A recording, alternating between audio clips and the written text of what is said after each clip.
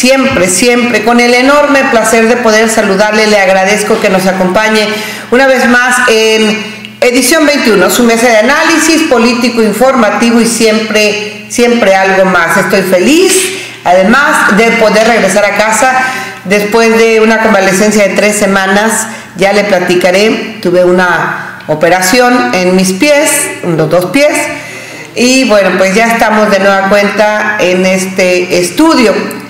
Transmitimos cada domingo, usted lo, lo sabe, lo sabe muy bien, cumplimos 14 años de estar domingo tras domingo desde el estudio B de Grupo Informativo 21, Centenario 278 Altos, casi esquina con Porfirio Díaz en Río Verde, San Luis Potosí. México y transmitimos, le decía, en vivo de 10 a 12 del día.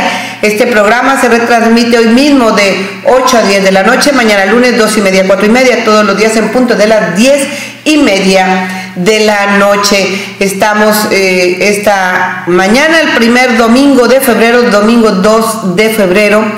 Eh, estamos informándoles a ustedes, bueno, tengo una mala noticia, muy mala noticia que comentarle, eh, pero antes le presento, le digo quién va a estar. Hoy, hoy vamos a hablar acerca, eh, pues, coronavirus, pandemia o, o alguna, alguna falsa alarma, al parecer es cierto. Estará con nosotros la epidemióloga, doctora Griselda Gobea Ruiz, eh, quien, quien es epidemióloga, le decía de la Secretaría de Salud del gobierno del Estado de San Luis Potosí. Vamos a hablar, bueno, tenemos también otra otro grave problema con este, en estos tiempos, que es precisamente eh, la influenza. Vamos a hablar de eso. Vamos a hablar también, eh, bueno, pues qué pasa con nuestro nuevo sistema de justicia penal, qué es lo que está sucediendo. El delegado de la Fiscalía General de Justicia en el Estado de San Luis Potosí, el licenciado Juan Manuel Ibarra, estará en el estudio respondiendo a algunos de los cuestionamientos que usted, que usted y yo nos hacemos acerca de, lo mismo. Le quiero recordar los teléfonos de nuestro estudio, su estudio, el 87 128 58, para que eh, si usted tiene preguntas, dudas eh, al respecto, háganoslas saber para transmitírselas a las, a las personas que estarán en el estudio. 87 128 58 para llamadas de voz y para mensajes de texto WhatsApp 487 121 05 83 y bueno déjeme déjeme comentarle a usted eh, esta, esta mañana ah, y más adelante como cada domingo ya vi este como cada domingo estará con nosotros, pues mis amigos, pues comentaristas, no son analistas, son como usted y como yo, que comentamos, que leemos, eh, que tenemos muchas fuentes de información, bueno, para platicar desde nuestro particular punto de vista eh, qué sucede en, eh, en nuestro país principalmente. Pero déjeme decirle esta triste noticia con la que amanecimos en Río Verde. Fallecen cinco jóvenes esta mañana, alrededor de las 6.10 de la mañana, déjeme, alrededor de las 6.10 de la mañana, ah, siendo las 6.10 de la mañana, se recibieron un reporte en el 911, un reporte por parte de Seguridad Pública de Ciudad Fernández, por parte del oficial de enturno, quien refirió que se encontraba en el interior del canal de la Media Luna frente a la colonia Gama de Ciudad Fernández, un vehículo, un vehículo habiendo hacia el interior cinco personas muertas y una sobreviviente. Eh, esto, esto es como nos empezó a llegar la información, eh, una camioneta Renault blanca, cuatro puertas, en el lugar pierden la vida cinco personas, cuatro femeninas y un masculino y solo una sobreviviente. Eh, pues después em, eh, pues empezaron a llegar más, más datos, esto pues como siempre, eh, los cuerpos de rescate, bomberos de Río Verde, también entiendo que autoridades estatales y municipales, bueno, todo el mundo se sumó al rescate del vehículo con los cuerpos hacia el interior. Em, fueron identificados tres cuerpos. La primera, Marisol N., con domicilio en la calle Abasolo de la zona centro aquí en Río Verde. La segunda persona identificada se, eh, se llamaba Mario, no me ponen las edades, pero entiendo que son jovencitos, ¿eh? La segunda persona identificada es Mario Benjamín, con domicilio en fraccionamiento La Pradera en Irapuato, Guanajuato, quien conducía el vehículo. El tercer cuerpo identificado fue eh, Abril Abigail N, con domicilio también aquí en la calle Abasolo, Colonia Centro de Río Verde. Ellas eran hermanas, estas dos chicas que fueron identificados. Dice únicamente estos tres, cuerpos, tres cuerpos fueron identificados y dos personas más, dos más, se fueron en calidad de desconocidos al servicio, servicio médico forense. La sobreviviente del accidente de nombre Leticia N., también de la colonia La Morita, eh, perteneciente a Río Verde, pues bueno, al parecer hermana de una de las fallecidas. Este, qué barbaridad, es, es un tema que hay bastantes, pues no hay mucho, mucho que investigar, creo. Eh, estos chicos salieron a las cinco y media de la mañana de conocido bar que se encuentra ubicado en la carretera eh, Río Verde, eh, San Luis, bueno, pues allá por el refugio, eh, cerca del Hotel Santanita, por ahí se encuentra este bar, y pues a las cinco y media salieron, así lo manifestó la única sobreviviente del lugar. Mi pregunta es la siguiente. Se supone, se supone que hay regulación para el cierre de estos antros, de estos lugares, a las 2 de la mañana, una o dos, depende del municipio. Si somos municipios conurbados, imagínese usted, ¿qué pasa?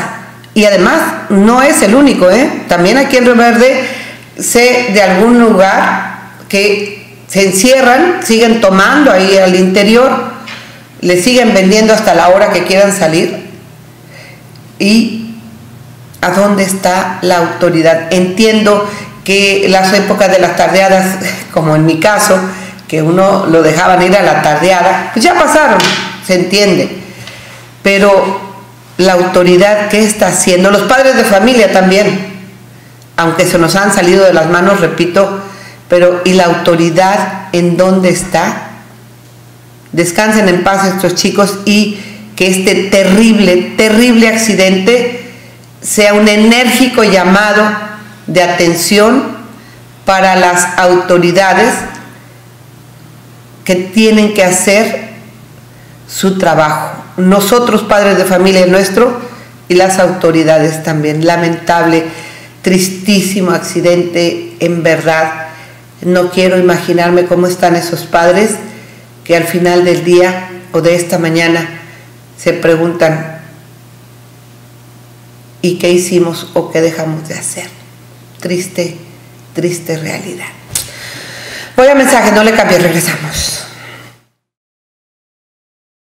Bueno, pues muchísimas gracias. Vámonos con el programa. Esta, esta mañana, tal como le estaba informando, eh, está con nosotros y agradezco muchísimo que nos acompañe la doctora Griselda Gobea Ruiz, quien es epidemióloga epidemióloga de la Secretaría de Salud de la Jurisdicción Sanitaria 04. En primer lugar, gracias doctora por acompañarnos. Buenos días. Buenos días, señora Alejandra. Es un gusto el estar aquí esta mañana con ustedes. Muchas gracias. Pues hay que informarle a la ciudadanía, doctora, porque eh, pues escuchamos tanto de esta eh, nueva pandemia que se empieza a manejar como tal, que es el coronavirus. Pero antes de llegar a ese sitio, Quisiera que nos ubique, eh, insisto, en que aquí tenemos ya la influenza. Personalmente hace cinco o seis años un sobrino falleció por la influenza porque no le hacíamos mucho caso, porque no creíamos que sí hay que vacunarse, etcétera, etcétera. Pero es, esta es una realidad en nuestro país. Ubíquenos primero en este contexto y como qué tipo de relación tiene con el coronavirus, porque entiendo que está algo relacionado. Así es. Ambas enfermedades son enfermedades respiratorias o que principalmente nos van a afectar la vía respiratoria. Eh, pero como usted bien comenta, en el 2009 influenza nos dio un susto, un giro totalmente inesperado. Este, en México, San Luis Potosí fue uno de los primeros estados en que presentó la mayor cantidad de casos y defunciones precisamente por influenza porque fue algo nuevo, algo que la gente, cómo está evolucionando tan rápido este cuadro respiratorio, cómo se está complicando, de dónde viene, cómo lo vamos a tratar. Este, y fue algo que a todos el sector salud pues nos sacó de, de nuestro de nuestro confort, digámoslo así. Zona de confort. Ajá, de la zona de confort nos dijo, a ver, tienes que activar tus sistemas de vigilancia, tienes que activar tus sistemas hospitalarios para poder tratar este tipo de pacientes. Afortunadamente, ahorita a la fecha, al 2020, hemos eh, conocido los tipos de virus, eh, los tipos de influenza que están circulando, en este año cuál es el esperado. La vacuna cambia año con año, afortunadamente contamos con ella.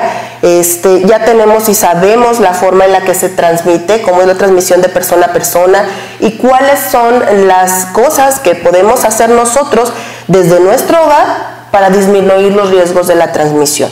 Porque eso es bien importante. A veces nosotros dejamos, no todo se lo dejamos a la Secretaría de Salud, es que ellos no trabajan y no. El filtro empieza desde nuestros hogares. Tenemos el filtro del hogar, que es si yo estoy detectando que uno de mi familia está enferma, que tiene un cuadro respiratorio, no lo mando a la escuela, hablando en este caso de los escolares.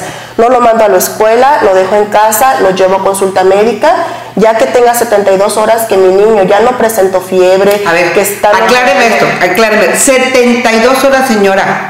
Aguante el niño en la casa, porque luego luego lo quiere echar. 72 horas quiere decir 3 tres días. días.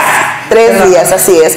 Tres días de que iniciamos el padecimiento. ¿Por qué? Porque en estos tres días cabe mencionar que la influenza es, eh, evoluciona muy rápido. Lamentablemente puede evolucionar de manera desfavorable como de manera eh, normal, por decirlo así. Es una gripe normal, digamos. Así es, un poquito más severa, eh, pero con el tratamiento adecuado y la, la vigilancia estrecha y, y siguiendo las indicaciones y recomendaciones del personal de salud, el riesgo de tener complicaciones es mínima. Entonces, por eso pedimos el reposo en el domicilio para que en estas 72 horas el padre de familia pueda identificar datos de alarma y si es necesario que yo regrese con mi hijo a una atención hospitalaria. Hablamos de la influenza. Hablamos, de, la influenza. ¿Quiénes son, eh, ¿quiénes son los- las personas eh, más Susceptibles. susceptibles al respecto? Las personas más susceptibles, como siempre, van a ser los extremos de la vida. Los niños menores de 5 años, los adultos mayores de 60 años, personas que tenemos algunas comorbilidades como la obesidad, este, el sobrepeso, algún problema del corazón, que vi- personas que viven con VIH, VIH, sí, sí, sí. las mujeres embarazadas, por favor, es un punto bien importante, personas diabéticas, este, son las primer- el personal de salud, son es quienes primero Todas tenemos que enfermedades mórbidas que, conocemos es. y que quien las padece debe de saber quiénes son. Así es, el Eh, asma. Sí, sí, sí, perdón. Son enfermedades que si nosotros las padecemos somos los primeros que tenemos que estar encabezando la lista para acudir al centro de salud para ser vacunados. A ver, esta vacuna, vamos a, a- a repetirle a, nuestra, a nuestro auditorio, la vacuna eh, a esta fecha continúan vacunando. Así es. una vacuna completa y totalmente gratuita. Usted no necesita pertenecer a tal o cual servicio social, que sea del ISSSTE, del seguro. Usted es mexicano, usted es una persona, un ser vivo de estas características principalmente, ¿verdad? Díganos qué características son las que llevan eh, eh, mano, digamos, en, en- en recibir las vacunas. Cualquier ser humano con estas características, como ya mencionamos, con este padecimiento edad. en estas edades, este, son los que tenemos mayor riesgo de complicaciones.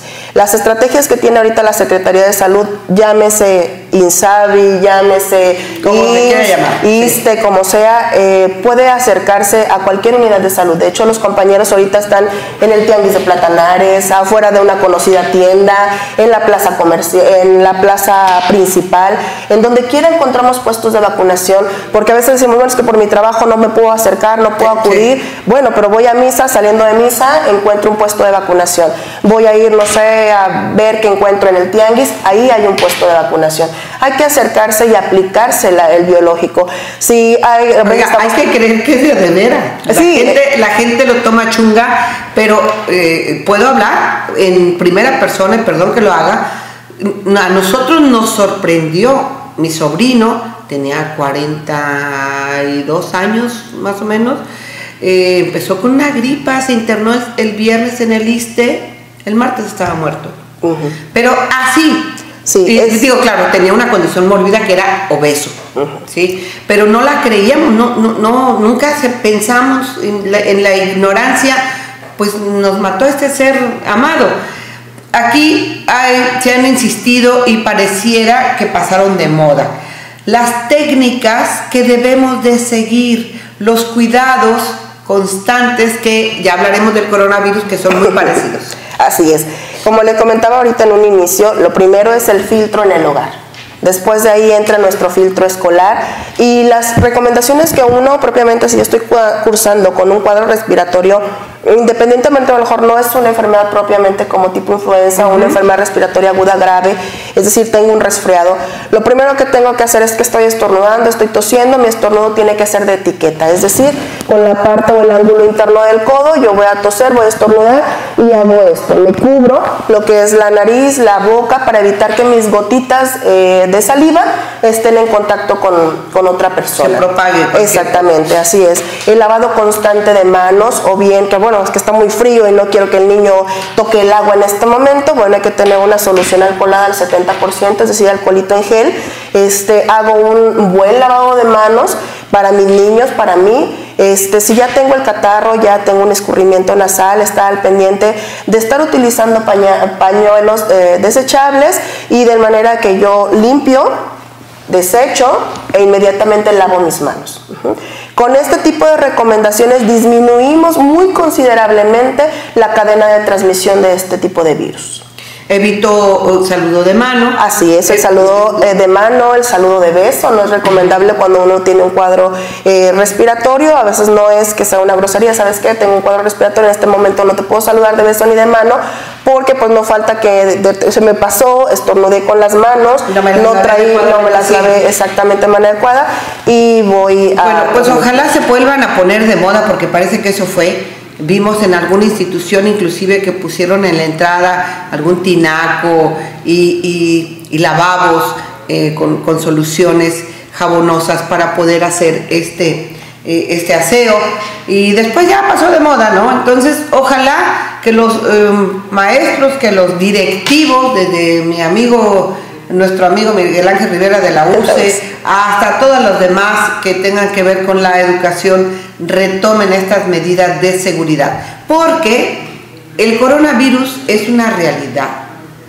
Eh, ¿Cómo se relaciona? ¿Qué es el coronavirus? Para empezar, ya está en México, ya pasó por México, ya, pasó por México, lamentablemente. Este, el día de ayer la, la Dirección General de Epidemiología de, nuestro país emitió en su comunicado, en su boletín, que tuvimos un caso que pasó por la Ciudad de México, el cual inició síntomas en, aquí y viajó hacia California, allá fue donde eh, cursó todo su, su padecimiento y donde fue identificado.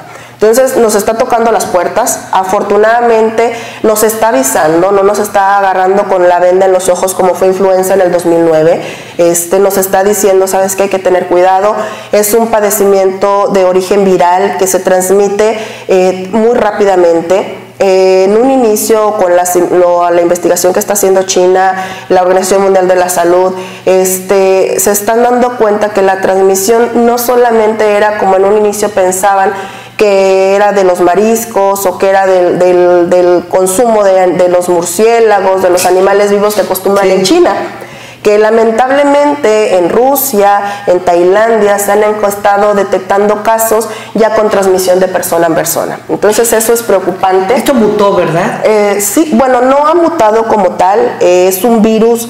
Eh, no, no, ¿Mutó de animales? Ah, sí. Ah, sí, es una enfermedad, zoonótica, ajá. Era de animales y se, Se transmitió a- al a- ser humano. a- a humanos. Hay que recordar que influenza también, se- en un inicio hablamos de la gripe porcina y que Ya. la gripe aviar, eh, y ahora estamos con, con lo que es influenza de igual manera, eh, perdón, eh, coronavirus que también viene pues aparentemente de los murciélagos.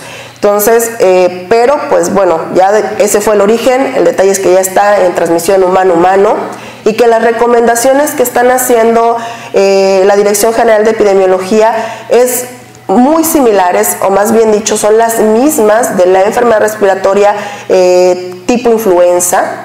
El lavado de manos, el evitar estar expuestos eh, a zonas eh, muy mm, donde hay muchísimas personas que están en ese momento donde puedes tener contacto con personas enfermas. Claro. Si no hay evitar los tumultos. Exactamente, evitar- aglomeraciones. con- eh, sí. Este, si yo estoy en contacto hasta el momento para poder identificar un caso, eh, hay que considerar que tengo que tener el antecedente de haber viajado a China en los últimos 14 días o bien haber estado en contacto con una persona que haya viajado a China en esos 14 días.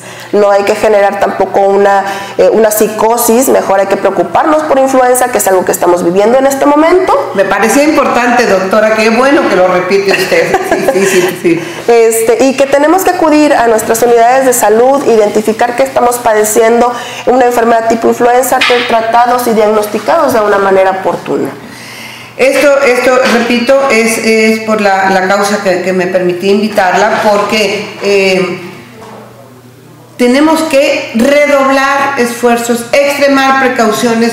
Si nosotros nos cuidamos de la influenza como nos indicaron hace algunos años, les aseguro que el coronavirus no nos va a llegar porque se transmite de igual manera. Así Eh, es las mismas recomendaciones, ¿verdad? De lavado, manos. del estornudo, de Así etiqueta, es, estornudo etiqueta. Estornudo etiqueta, el, el- el no besar, no saludar, eh, contacto físico en caso de estas sospechas. Pero me, me gustó también, por ejemplo, si, si tienes algún de este tipo de cuadros en menores, no enviarlos a las escuelas, porque al estar en lugares públicos con muchos asistentes, pues eh, sí se, es más Es fácil. altamente ¿no? contagioso, sí.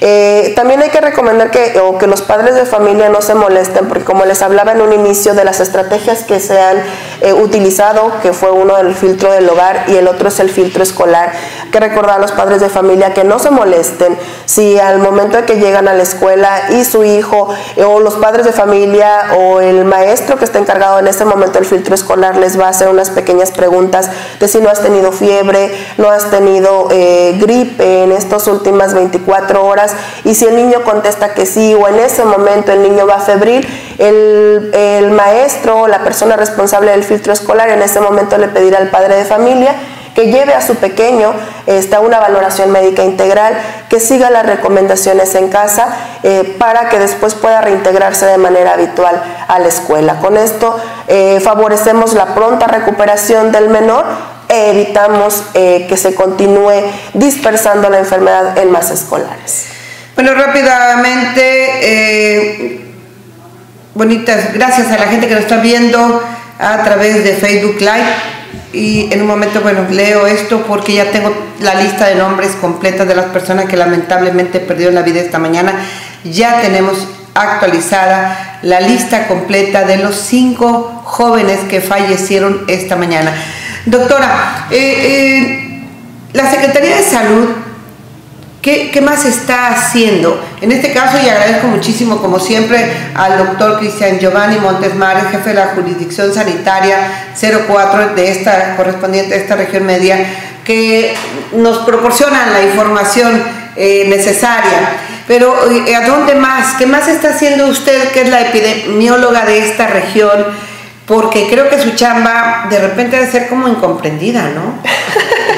Sí, a veces es un poco. Ahorita bien como usted comentaba en un inicio acerca del, maestro Miguel Ángel y con lo de la URCE, eh, en cuanto a lo que es influenza, están recorriendo los compañeros en las reuniones que tienen en los consejos técnicos de los maestros, en, el comité municipal, con los directores de las instituciones, estar reuniendo compañeros para estar informando este, las principales figuras que ellos nos pueden apoyar en la réplica de lo, de lo que es la influenza, de las recomendaciones que podemos hacer, a pesar que tenemos ya desde el 2009 con este padecimiento y que lamentablemente a más de pues, casi 11 años de que está viviendo con nosotros, no hemos podido sensibilizarnos en cuanto a la importancia, de la prevención acerca de la vacunación. Es lamentable que ahorita en la temporada de febrero, que estamos teniendo la mayor cantidad ¿Se de casos, las expectativas? Lamentablemente no. Lamentablemente no, tenemos un porcentaje de vacunación alrededor del 70% para esta temporada. y recordemos. Y es gratis. y la tenemos desde octubre. es una vacuna que está en el sector salud de manera gratuita para todos desde el mes de octubre. Entonces, y que ahorita en este mes de febrero, cuando es cuando tenemos el mayor incremento de casos, porque hay que recordar que febrero es uno de los del mes más frío del año y que esto favorece eh, la transmisión de los virus. Así es. Entonces, ahorita ya todos deberíamos de tener la vacuna aplicada, sobre todo personal de riesgo. A ver, vamos a repetir. El personal de riesgo es eh, las edades, ahorita me las dice y además también quienes trabajan en hospitales, ¿eh? porque son susceptibles, son áreas muy susceptibles. Una vez cubiertas estas, eh, esta comunidad, eh, las demás personas que no están dentro de los grupos de factor de riesgo, ¿también pueden accesar a la vacuna? Así es. También pueden acceder a la vacunación. A veces lamentable que no hayamos cubierto al 100% todo el personal de riesgo porque esto hace que no tengamos a disposición al 100% la vacuna para toda la población que así la demande. Nuestro objetivo principal es que las personas que puedan estar enfermas y llegan a tener complicación estuvieran protegidas, porque hay que recordar que la vacuna no me va a evitar el tener influenza, eso hay que recalcarlo, porque luego las personas no, no me vacuno, como quiera me va a dar gripa, este, no, no me vacuno porque me la pongo y me da una gripa espantosa. Hay que recordar que la vacunación, esa no es su principal objetivo. El principal objetivo de la vacuna de influenza es evitar tener complicaciones por la misma. Porque, aunque yo esté vacunada, puedo cursar con una enfermedad tipo influenza. Doctora, muchísimas gracias. Gracias por habernos acompañado, por haberla desmañanado. este, este domingo, domingo 2 de febrero, le agradezco mucho. Para finalizar, ¿alguna recomendación en especial que sugiera? Mire, eh, les recomiendo a toda la población que se puedan acercar a nuestras unidades de salud, a la que gusten, a consultorio anexo a farmacia, a donde deseen acudir, pero que no se automediquen. Por favor, que acudan a una valoración médica completa para poder identificar datos de alarma y poder eh, ser tratados de manera oportuna. Muchísimas gracias. Es gratuito los servicios de salud en nuestro país son gratuitos, no necesita usted tener algún tipo de seguridad social, me refiero a ISTE, Seguro Social, etcétera. Eh, esta, esta vacunación es gratuita. Muchísimas gracias. Saludos al doctor Giovanni. Gracias. Por favor. Y bueno, antes de irme rápidamente, eh, leo eh, Jorge González, bonitas épocas en donde toda la convivencia era más sana, lamentable accidente. Sí, Jorge, estamos de verdad consternados. Angélica Márquez dice buen día, Javier Patiño, muy lamentable accidente, Salvador Alvarado, aquí viendo el noticiero, saludos. Y voy a referirle a usted eh, los nombres, los nombres de las personas que fallecieron, ya eh, pues los podemos dar, están confirmados, lamentable, muy, muy lamentable situación y ahí le va. El primer cuerpo es Marisol Martínez Recendis con domicilio en la calle Basolo 322 de la zona centro de Río Verde. Segunda persona, Mario Benjamín Rosales Juárez con domicilio en fraccionamiento Praderas en Irapuato, Guanajuato. El tercer cuerpo identificado como Abril Abigail Martínez Recendis con domicilio en la calle Basolo aquí en Río Verde. Y eh, bueno, la, persona sobreviviente se llama Leticia Rivera Méndez y ya tengo, me acaban de llegar los otros dos nombres. Eh, ¿En dónde está? En, ¿Dónde la tenemos, amigo? ¿En redes? En redes. Bueno, eh, Elizabeth Méndez Rivera de la colonia La Morita y Beatriz Adriana Antúnez de la calle Maple de El Altillo. Descansen en paz estos cinco jóvenes que lamentablemente pierden la vida esta mañana. Voy a mensajes, no le cambien. Regresamos.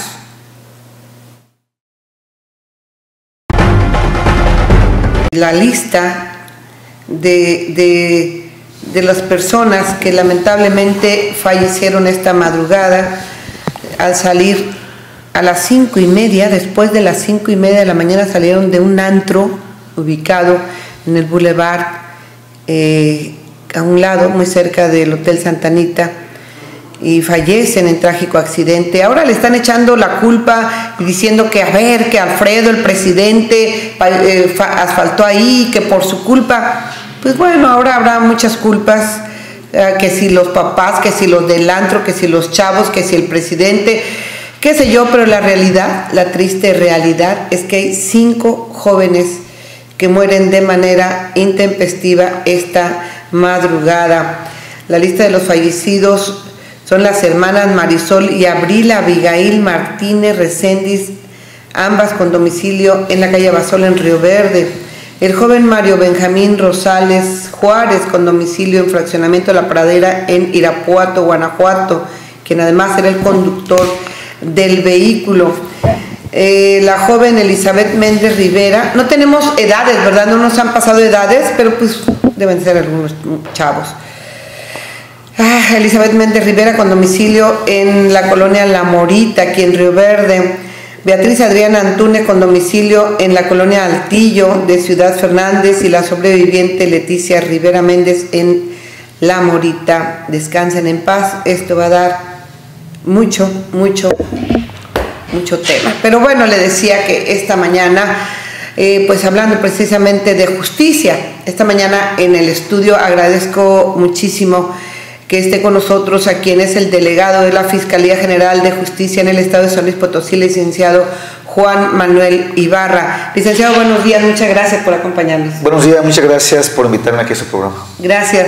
Bueno, ¿cuánto tiempo tiene que está usted en el encargo aquí en la región medio? Acabamos de cumplir siete meses aquí en esta delegación de Río Verde. Eh, licenciado, con este nuevo sistema de justicia penal nos, prometieron que iba a haber agilidad en los casos, que se iban a, se iban a, avanzar muchas eh, carpetas que quedaron del sistema anterior de justicia. Y lo cierto, lo cierto es que la gente pues, no quiere denunciar, porque se dan cuenta y los mismos ladrones dicen, pues más te tardas en meterme que yo en salir. Eh, ya no quieren confiar porque dicen, no, esto no sirve. ¿Qué tan complicado ha sido para ustedes y cuál es la realidad de nuestro nuevo sistema de justicia penal, por favor? Gracias. Mire, bueno, desde el inicio del sistema de justicia, al menos que tuve la oportunidad de eh, participar con los compañeros en, en Matehuala, en septiembre del 14 a la fecha, veo un cambio importante que se ha realizado. Es correcto, eh, apenas vamos iniciando, estamos trabajando, estamos trabajando para construir un nuevo sistema de justicia penal. Es un sistema muy complejo en donde tenemos que participar de suyo todos los intervinientes, no solo las autoridades, sino también es parte que el ciudadano se involucre poco a poco en los temas y bueno, también coadyuve en este sistema para lograr los objetivos que fueron diseñados para este proceso penal acusatorio. Eh, mire, una de las eh, situaciones que he notado... ¿En qué se basa, perdón? Bien, mire, es importante destacar, eh, nosotros tenemos una unidad de decisión inmediata, que es donde se atiende en primer término las denuncias y las querellas, que se trata de agilizar los trámites para que la gente que acuda a ese lugar no tarde tanto en denunciar, que sea un aliciente para el ciudadano que no se pase ahí las horas ni los días, y bueno, una vez que denuncia se pasa a mesas de investigación, los asuntos que tengan eh, que turnarse a ese lugar donde se encuentra un imputado conocido. Tenemos una unidad de conciliación, que es donde también se pasan los asuntos que son mediables. Esto con el objetivo de lograr de manera pronta, eh, rápida, una puntual reparación del daño. Y bueno, se crea una, una unidad o una mesa donde se trabaja eh, personas con imputados que aún no se encuentran conocidos, que se les dé un trámite ágil, que se establece estrategias, es una unidad donde se advierte el modus operandi de personas y de ahí vamos trabajando para en su momento poder desarticular bandas delictivas. Eh, licenciado, me quiero detener un poco en, en, la primera mesa, en una de las primeras mesas más bien, que es la de mediación. ¿Qué porcentaje, mediación entiendo que es, eh, se busca la conciliación de intereses en esta primera instancia para no ir a carpetas, investigaciones, más querellas, etcétera, etcétera? Se busca, como lo dice, mediar entre ambas partes. ¿Qué, qué tanto porcentaje de, lo, de las eh, denuncias o de las carpetas que llegan ahí se logra conciliar? Bien, mire, nuestra incidencia delictiva eh, que se turna a esas unidades aproximadamente del 30 al 40%. Y de ese 30 al 40% eh, aproximadamente es un 20 a 25% que se está conciliando. Se requiere obviamente, bueno, eh, tenemos una experta en conciliación en ese lugar, pero también se requiere la voluntad, seguir los principios de la conciliación y bueno, que las partes desde luego se sometan de manera voluntaria a, esta, a este procedimiento para que pronto se logre eh, garantizar una reparación del daño. Esta es, bien importante porque eh, mucha gente que aún no conoce de, este, de esta mesa, de este sistema, eh, llegan de manera irreconciliable y hacen más larga la, aquello de la justicia pronta y expedita, digo, expedita para, para todos los mexicanos. Licenciado, aquí hay que hacer hincapié. La gente dice, eh, están acostumbrados, o quizá algunos funcionarios, vamos a mal pensar, eh, quieran seguir coyoteando, como dicen vulgarmente, como antes se hacía. ¿Cuál es la instrucción que usted personalmente ha girado a su gente? Porque hemos atendido en este mesa de redacción personas que se quejan de aquello de la pronta eh, justicia para nosotros. Bien, mire la instrucción que se les ha dado a todos los agentes del Ministerio Público desde mi llegada es trabajar con prontitud, con responsabilidad, pero sobre todo con honestidad. Eh, desde atención inmediata los eh, puntos medulares que le he instruido yo a la encargada de ese lugar, es atender a la gente de manera rápida, oportuna, eh, con mucho profesionalismo y sobre todo con honestidad.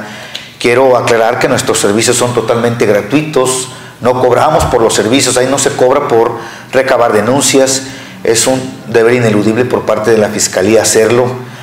Y bueno, en, en los mesas donde existe detenidos, donde se puede dar el coyotaje, créanme que hemos hecho una labor importante, los agentes del Ministerio Público tienen esa obligación, esa instrucción de designar un defensor público, de comunicar a la persona que se encuentra defensores públicos, de quienes son totalmente gratuitos.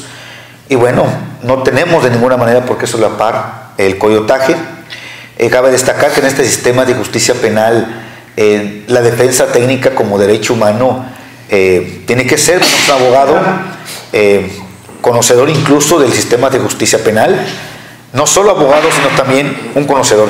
En ese sentido, nosotros estamos trabajando para erradicar. A ver, mucha gente pensará, no hombre, ese discurso lo he escuchado muchas veces y eso no es cierto porque no sé qué. Pero si usted nada más se queja en el Face o nada más se queja en el café, no va a solucionar nada, se lo puedo asegurar.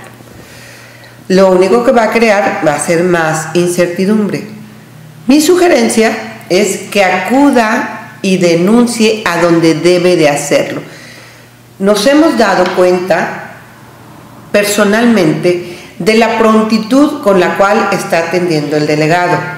La fiscalía, él está todos los días y atiende cualquier queja. ¿Es así, licenciado? Es correcto. Eh, de hecho, el día de este fin de semana me tuve que trasladar con motivos de trabajo. Eh, y bueno, pues seguimos haciendo nuestra labor en esta delegación eh, que se construya una delegación diferente, que se construya un sistema de justicia penal eh, diferente y es correcto que no se denuncie en redes, que se acuda, yo estoy para atenderlo, estoy para servirles. La Fiscalía ha implementado una política antisoborno en esta nueva etapa y bueno, yo estaré atendiéndolos, estaré atendiendo sus quejas de manera directa. ¿Qué horario está usted? Yo estoy desde las 8 de la mañana a las 4 de la tarde y por las tardes regreso de las 6 de la tarde a 8 de la noche. Así que vaya y tóquele la puerta, le aseguro que sí le van a atender si usted considera que no ha sido bien atendido. Otra, otra constante, licenciado, es eh, ¿por qué si el sistema, una de las bondades de este nuevo sistema de justicia, eh, se supone que es de entre mayor em, reincidencia de los delincuentes, mayor el castigo. Porque si dicen, no, hombre, se entra cada rato y sale a cada rato y no le pasa nada, ¿qué, qué sucede ahí? Bien, mire, anteriormente en el sistema tradicional, inquisitorio, la prisión preventiva era una regla general. La prisión preventiva o, se dictaba una formal prisión y traía aparejada la prisión. En este nuevo sistema, los principales postulados eh, que se crean de la reforma, desde luego, eh, el nuevo sistema de justicia y que trae como novedad la medida cautelar de prisión preventiva, que es basada en teoría de los riesgos, ahora en este sistema es de manera excepcional. Es decir, el, legislador eh, cataloga ciertos delitos graves para la imposición de esta medida cautelar y bien, también nos señala en el caso de que existan hechos cometidos con medios violentos como armas o explosivos. En ese sentido trae aparejada esta medida cautelar. Ya de suyo, de suyo, eh, todos los tipos penales, con esas excepciones, eh, no traen aparejada la medida cautelar de prisión preventiva. Existen en el catálogo del artículo 155 del Código Nacional 13 medidas antes que esta prisión preventiva. En ese sentido, al desaparecer ya como una regla general, el agente del Ministerio Público tiene que ser muy puntual. Eh, cuando una persona se encuentra detenida y que no sea un delito grave no sea cometido con medios violentos, bueno, tendrá que analizar precisamente bajo esa teoría de los riesgos que exista una forma idónea que garantice o proteja los riesgos que aparezcan dentro de su carpeta de investigación, tendentes a cubrir las expectativas que señala nuestro apartado eh, A del 20 constitucional, eh, que es precisamente procurar que no quede impune el hecho, garantizar que la persona se presente en el proceso penal, es decir, que esté disponible en el proceso para garantizar eventualmente una sentencia, que no exista daños a la víctima, a los testigos y desde luego que no pueda obstaculizar la investigación. Basada en esos riesgos, es como debe solicitar en su momento al juez de control la medida cautelar. Si la persona obtiene su libertad, precisamente eh, basada en esta teoría de riesgos, y vuelve nuevamente eh, a cometer un hecho con apariencia de delito, nuevamente vuelve a ser detenido, tendrá que ser más enérgica ya la medida cautelar. Es de manera gradual hasta llegar incluso a que la persona, aun cuando no participe en un delito grave, sean delitos menores, pero si no acata las medidas cautelares, entenderemos que no tiene disposición de someterse al procedimiento y bueno, nosotros como Fiscalía tenemos la obligación ineludible de poco a poco y de forma gradual pedirle al juez de control una medida cautelar más lesiva hasta llegar incluso a la imposición de la prisión preventiva. Licenciado, mm, ¿tendrá algo que ver que muchas de las eh, personas agraviadas no van a, o no ponen la denuncia o no ratifican la denuncia. Eh, entiendo que esto pues es, es, parte, es una de las causales por las cuales dice pues ¿cómo lo detengo si fue detenido en flagrancia pero la persona ofendida no vino o, o bien a poner la denuncia correspondiente o a ratificar la misma? Bien, es correcto eh, necesitamos que la gente acuda a denunciar con o sin detenido, sobre todo cuando hay detenido y en tratándose de, hechos que, requieren necesariamente la querella o la participación del ciudadano, necesitamos que acuda a la fiscalía, que denuncie, tenemos incluso plazos para ello. Es importante esta cultura de la denuncia, porque si no únicamente, como usted bien lo dijo, se hacen redes, se hacen en mesas de café, Y bueno, es importante que se hagan una carpeta de investigación, que el Ministerio Público cuente con ese requisito de procedibilidad que exige nuestra Constitución y nuestro Código Nacional para que precisamente le exija al Ministerio Público que su carpeta de investigación, bueno, pues llegue ante el juez de control. Licenciado, eh, bueno, tenemos, tenemos la suerte de estar, eh, bueno, yo, porque pues él, él de, de facto está en las mesas del Consejo de Seguridad y yo tengo la suerte también de estar en las mismas eh, por parte del Comité de Consulta y Participación Ciudadana, en mi caso. Pero ahí, eh, mes tras mes, tras mes, tras mes, yo tengo, no sé, unos cuatro años de pertenecer a este comité, pero siempre eh, la incidencia más alta del tipo de delitos que se cometen son de tipo de violencia intrafamiliar. ¿Qué pasa, licenciado, en qué estamos fallando tanto las autoridades como los civiles. ¿Qué estamos haciendo mal? Por Dios, porque eh, son los que tienen más alto impacto, pero los que más se callan. Bien, mire, es un tema muy complejo, es un tema que tiene muchas aristas. Cultural. Pero una manera es cultural, existen muchas comunidades donde es cultural. Me ha tocado ver incluso a personas denunciando que aguantan malos tratos, pero también que no tienen accesos a, medios informativos de manera general, que se hace falta el empoderamiento de la mujer eh, de manera eh, plena y que bueno, desde luego hace falta mucho la cultura de la denuncia. Hoy la violencia familiar le puedo decir que ha avanzado eh, mucho, ha dado pasos agigantados, que ahora es violencia doméstica, violencia económica, no solo los golpes o el maltrato físico o emocional, sino también va más allá. De eso tiene que tener conocimiento las personas. De hecho, la Fiscalía se va a encargar al menos de bajar a las comunidades, de hacer pláticas a manera de prevención, que es una de las funciones que tenemos nosotros como eh, Fiscalía o ahora en la delegación, y que bueno, yo lo haré particularmente con la encargada de delitos sexuales y violencia familiar, eh, nos vamos a apoyar de jueces auxiliares con el DIF municipal y bueno, juntos eh, trataremos de bajar a las comunidades o a los lugares donde tengamos que bajar, sobre todo para hablar de estos temas, la cultura de la denuncia.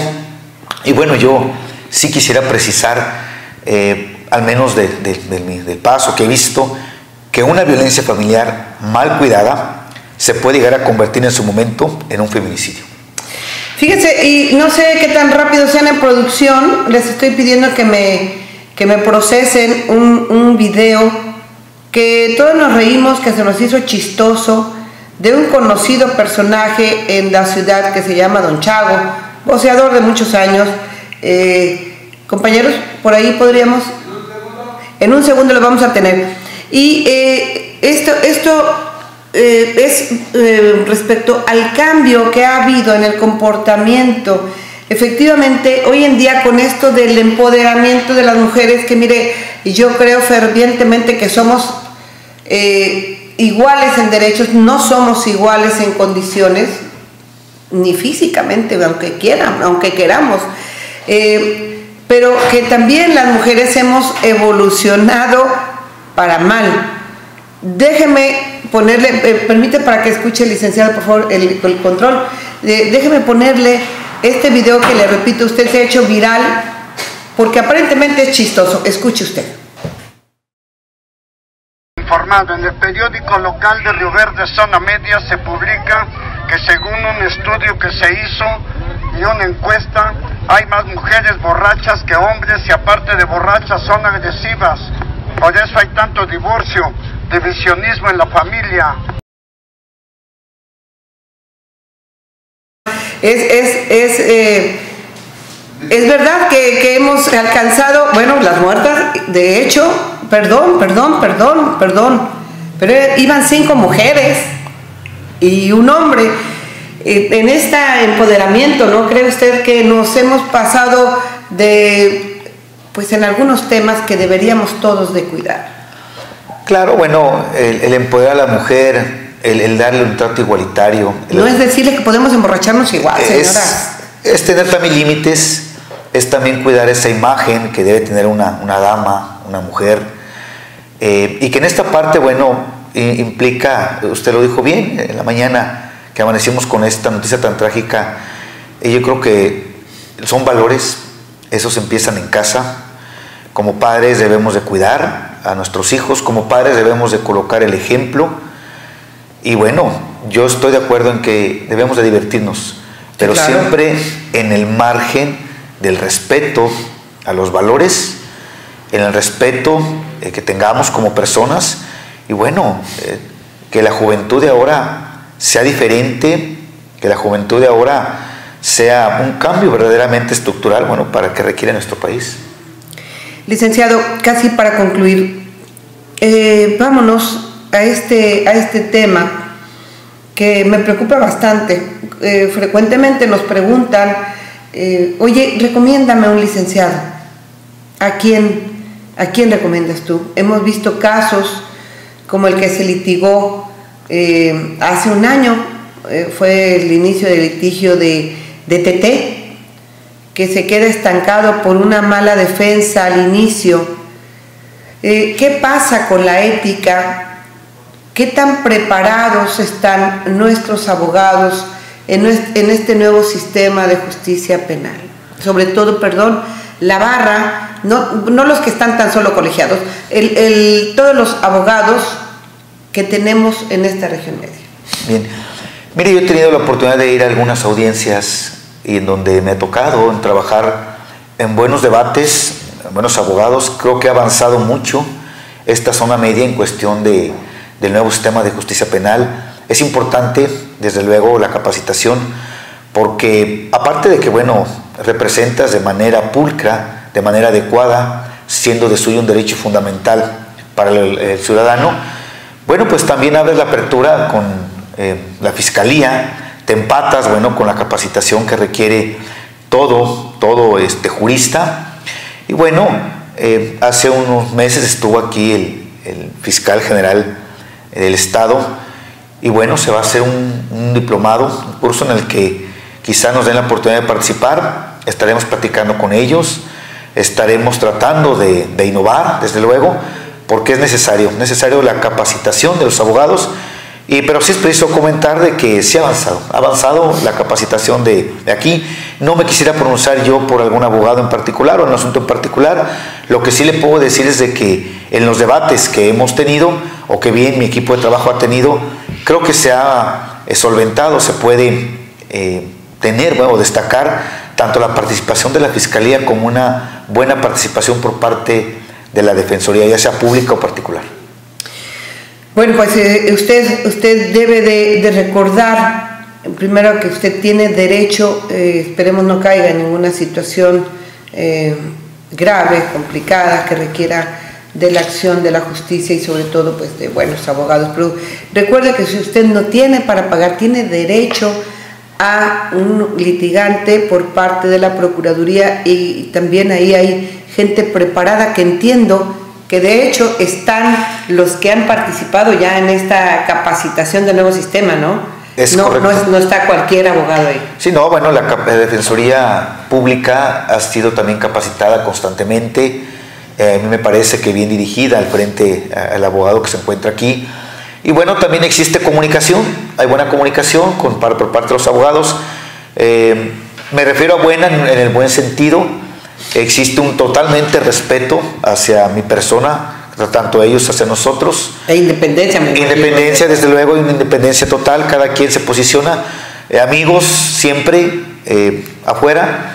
Y hay posicionados en los debates, bueno, pues sustentamos nuestra teoría del caso como todo profesionista, trabajamos con profesionalismo y bueno, cada quien desde luego posiciona a su dependencia, cada quien posiciona o justifica su teoría del caso en los debates, pero saliendo amigos como siempre. Licenciado, un gusto, un gusto que nos haya acompañado esta mañana el delegado de la Fiscalía General de Justicia en el Estado de San Luis Potosí, eh, licenciado Juan Manuel Ibarra, Sí, ¿verdad? Sí, es correcto. Eh, perdón, tuve un lapsus. Eh, Juan Manuel Ibarra, quien eh, tiene su, bajo su encargo esta delegación de la zona media. Para concluir, licenciado, dos temas rápidamente. Uno, el manoseado tema del avionazo, que, bueno, pues quienes por acelerar y decir yo me llevé la nota y no sé qué. Pues em, sacaron que traían droga, que traían dólares y ahora andan buscando los dólares y la droga y que expliquen de dónde sacaron toda esa información. Parece, al parecer burlaron el cerco de, de ¿cómo se llama? En donde no dejan pasar a ya nadie, ni a los periodistas, ni a nadie, el, cinturón de seguridad. Pues sí, la de vigilancia, el acordonamiento que se El acordonamiento, eh, al parecer eh, alguien burló esto, eh, envió fotos, envió datos, etcétera, etcétera. qué complicado, ¿no? Trabajar pues no sabe dónde está el desleal porque no había instancia oficial, no sé, no sé cómo, cómo le ha ido con este caso. mire, bueno, a nosotros se nos comunicó en un principio, eh, coadyuvamos, desde luego, con la Fiscalía General de la República. CEMEFO y demás. Eh, acudieron peritos por parte de aquí de la delegación. Eh, Fiscalía General de la República se hizo cargo de, su tema, el tema del, avión, y nosotros nos hacemos cargo, como hay una competencia concurrente, nos hacemos cargo en este caso de los oxisos, estamos tratando de, de rápido, de hacer con prontitud, ayer me personé yo con los familiares, de hacer entrega de los cuerpos, es un poco complejo, la verdad, los cuerpos, debo decir que presentan golpes, se encuentran, eh, si no bien del todo una parte modificados, a mí me preocupa ese tema porque hay una competencia concurrente. En un momento determinado se puede ejercer la facultad de atracción por parte del, representante social de la federación. Y bajo ese sentido, bajo esa perspectiva, como en todos los casos, estamos actuando con mucha curiosidad, con mucho cuidado, con mucho profesionalismo, pero sobre todo con mucha prontitud. Eh, se están haciendo los mecanismos necesarios. El día de ayer vino una genetista de la federación se apersonó con los familiares, se han tomado muestras. Estoy en contacto yo personalmente con el Ministerio Público eh, Federal o con el fiscal federal, quien me ha apoyado, a quien le he agradecido el apoyo. Y bueno, estamos tratando lo más pronto posible de lograr la identificación eh, con los sistemas de identificación que señala ahora la ciencia, de no tomar el asunto a la ligera.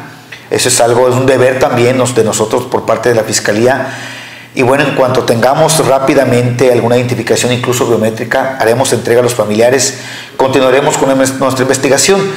Eh, coadyuvaremos con la federación, aun cuando no nos compete saber lo de eh, la avioneta, las causas que pueden haber originado que cayera, nosotros coadyuvaremos entre todo lo que esté a nuestro alcance para tratar de... Complicado el tema. Es muy complicado el tema, la verdad. Licenciado, muchísimas gracias. Para concluir, ¿desea agregar algo más?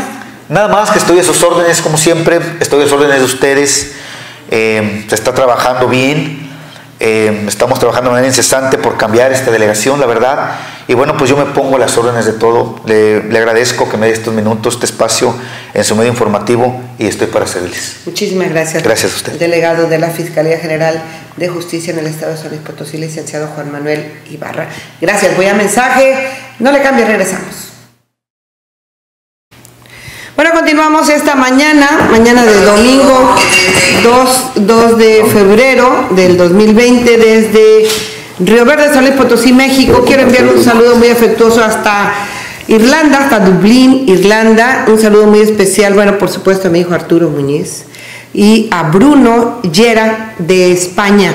Saludos a ustedes que nos están sintonizando y continuamos esta mañana en la mesa de análisis político de edición 21. Eh, pongo otro nombre de, otros eh, par de datos de la triste noticia de los cinco jóvenes, jovencitos, eh, que fallecieron esta mañana al caer a un canal, al canal de la Media Luna después de, de salir de un antro, salieron de ese lugar a las cinco y media de la mañana las hermanas Marisol y Abril, Abigail Martínez Resendi, fueron estudiantes del COBACH 05 y actualmente estudiaban en el TEC de Rivera, que le gusta alrededor de 20 años, todos ellos. Lamentable, lamentable, triste situación que más adelante la platicaremos en el estudio, pero que rápidamente quiero comentarle, esta mañana nos, nos llega eh, de una persona pues muy indignado, dice, esta mañana encontré siete perros muertos, no sé quién los esté matando, ojalá que se haga justicia. Dice, esto es en el barrio de Los Ángeles, en la calle Hidalgo, en un monte. Bueno, son siete imágenes parecidas a estas. Y bueno, ¿hasta dónde, Señor? ¿Hasta cuándo estas situaciones? Vámonos, vámonos. Y agradezco muchísimo a quienes me acompañan de, de, vuelta en casa, bendito Dios. Después, en mi caso, de tres semanas de estar convaleciendo por ahí, y bueno, de, de, varias semanas que no los tenía juntos como hermanos, miembros de la iglesia. Les agradezco muchísimo, es un gusto a cada uno de ustedes con el cariño claro. y el agradecimiento tremendo de que estén con nosotros en estos comentarios políticos, que como siempre le he dicho, ellos son como ustedes y como yo, son sígame la maestro, son comentaristas, no estudiaron en ningún lado para que no se quiebren la cabeza. Bueno, yo estudié ingeniería. Ah, no, no, yo, yo, de comentarista político, de analista, porque dice, ¿de dónde salieron sus analistas? No, yo, yo, yo, salí de la universidad de aquí. Sí, no, pero yo de la Universidad de la Vida y soy yo, yo igual. Entonces, David Galván Almazán, muchísimas gracias. Ese David Galván Almazán. El ingeniero Gabriel Martínez Rodríguez, él sí fue a la escuela, al contador público. Eh, Alberto Tenorio Medina, muchísimas buenos gracias. Días. Gracias, buenos días. Pues muchos temas que tratar esta mañana de domingo. Pues bueno, creo que no podemos omitir en primera instancia el tema de estos jóvenes Sí, claro. que lamentablemente fallecen. Híjoles, esto ha consternado y ojalá nos dé las fuerzas para exigir, para gritar que también, aparte de los papás que estamos haciendo las autoridades, cinco y media de la mañana, lugares abiertos. ¿Qué opinas, Alberto? Fíjese, no, no sé qué lugar ahora hasta las cinco y media de la mañana, porque Oficialmente ninguno, extraoficialmente sí hay varios. sí, no los conozco, señora, pero también hay, hay reuniones en ya muchos lugares privados, quintas privadas. Aquí el verdadero problema, y creo que va a ser muy difícil porque tiene años y es en todo el país, es combinar el exceso de alcohol con el exceso de velocidad.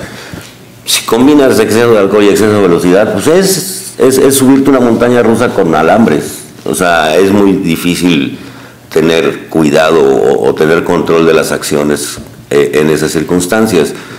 Si yo, yo pensaría que si tu hijo es incapaz de controlar y, y te das cuenta que constantemente llega en estado de ebriedad, pues quítale el carro.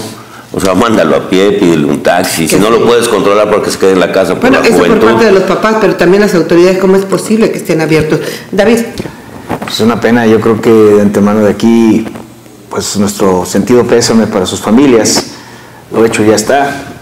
Eh, y tienes razón, o sea, al final del día nosotros somos responsables de nuestros actos. Desgraciadamente, pues a veces tomamos malas decisiones, sobre todo cuando estamos jóvenes, platicábamos hace rato. Pues cuántas veces hicimos locuras todos eh, en nuestra juventud. Pero sí, efectivamente, o sea, este, yo creo que tiene que ser un llamado de atención muy grande para nosotros como papás tener más atención, hacer como dijiste hace rato, o sea, eh, más responsable, exigir más responsabilidad a nuestros hijos, sobre todo si conduces, sobre todo con quién salen, y a horarios de a qué hora regresas, y ese tipo de cosas. Tenemos que ser más estrictos. Sí, efectivamente, sí hay lugares abiertos, ah, después de los horarios de, cierre que marca la ley. Desgraciadamente, bueno, tenemos una corrupción terrible. No sé en qué antro hayan estado, si en Ciudad Fernández o, en- o aquí en Río Verde, pero es un llamado para las autoridades, para que efectivamente se cumpla la ley y ya, bueno, el que salga y se vaya a, su- a una finca o a otro lado, pues volvemos a lo mismo, somos responsables de nuestros actos. Y este, pues definitivamente, o sea, es un, es un llamado de atención, es algo que nos tiene que poner a todos a, a, de verdad a pensar muy bien y, y ver qué podemos hacer como sociedad. ingeniero. Gabriel Martín. Muy lamentable, yo no me quiero imaginar a los padres en estos Qué dolor, qué dolor. El dolor tan grande de, de caray. Un caso son dos hermanas. Sí. Exactamente, dos, dos señoritas que en plena juventud, en plena eh, eh, Flor de la vida. flor de la vida, exactamente, eh, mueren en ese trágico accidente. Y tiene, tiene toda la razón, señora. Bueno, independientemente de nosotros como padres, eh, estar monitoreando incluso dónde andan los, los muchachos. Y ahí anda uno en la madrugada. ¿En qué condiciones? No, pues es que bueno, Sí. ni modo, nos toca hacer eso. Este, y estarlos monitoreando en qué condiciones están, con quién andan, eh, en qué lugares están. También como sociedad y como padres de familia tenemos que exigirle a la autoridad porque nuestros mismos hijos nos dicen es que estamos en tal lugar tomando aquí, estamos tranquilos, no pasa nada. ta, ta". Entonces nosotros sabemos que, como dice David, hay lugares en donde después del horario de cierre sigue abierto y siguen vendiendo bebidas. Y si están en un lugar eh, eh, eh, privado, bueno, pues ¿y qué hace la autoridad, la policía municipal?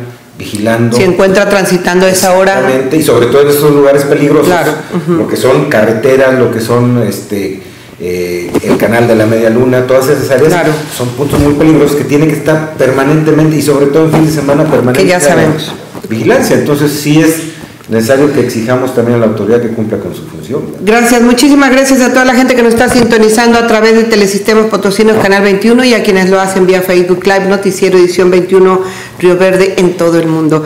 Jorge Villa dice, es la verdad, allá la Estrada dice, cierto, a los dueños de los bares les vale mm, venderles si cierran, pero los dejan ahí adentro. Eh, los dejan ahí adentro para bajarles el poco de dinero que traen, dónde están las autoridades o pasan por su mochada seguramente. Y bueno, esto también, los padres de familia, en dónde están sus principios, se han perdido los valores hoy en día, ya los jóvenes hacen lo que se les hincha y ya los padres no pueden hacer nada, no es posible. Bueno, ese es otro tema que tiene usted razón. Eh, Zorro solitario dice de ser un rata para que no le ladre. Pues bueno, guau, guau. Este... Por lo de los perros. Sí, ah, sí, el de los perros que se murieron. Ay, perdón, yo poniéndome el saco. Ay, fin. Bueno, vámonos, vámonos con lo siguiente. Eh, pues sí, teníamos eh, un par de semanas o varias semanas que no habíamos estado eh, aquí juntos. Y hay un tema que por lo trascendental quisiera de nuevo traerlo a la mesa. es el caso de la aprehensión de Genaro García Luna en Estados Unidos, que bien lo hizo la autoridad americana efectivamente después del juicio del Chapo, de ahí derivan todas estas investigaciones y es aprendido y mantenido en una cárcel en la Unión Americana. ¿Qué opinión le merece? Pues efectivamente, eh, a partir de que agarran al Chapo Guzmán y se lo llevan a Estados Unidos y empiezan a abrir la boca, y a platicarles a, las autoridades estadounidenses cómo se hacían los negocios en México de la droga, quiénes eran los que los hacían y eh, de qué manera lo hacían. Y este, a raíz de esto, pues inmediatamente atrapan a Genaro García Luna, que era en realidad el contacto entre, o más bien eh, el socio como gobierno, el representante del gobierno eh, de la República con los narcotraficantes. Lo agarran, claro que sabe quiénes son los eh, presidentes o expresidentes que estaban coludidos con los narcotraficantes, sabe qué empresarios están o estaban coludidos con los narcotraficantes. Es decir, tiene una serie de información valiosísima que si bien es cierto, en estos momentos no está en la palestra pública porque por los tiempos del caso, de, de, cómo se va juzgando, pues ahorita está en un receso, pero va a llegar el momento en que este caso va a salir a relucir y creo yo que va a ser de los más impactantes en este año, 2020, por, considero también, las revelaciones que pueda hacer de, la asociación que había entre el gobierno de la República con eh, los narcotraficantes. Entonces es, un caso importante que no vamos a, a perder de vista, más adelante van a salir muchos más datos. Ya empezaron a agarrar también eh, a muchos cabecillas de organizaciones.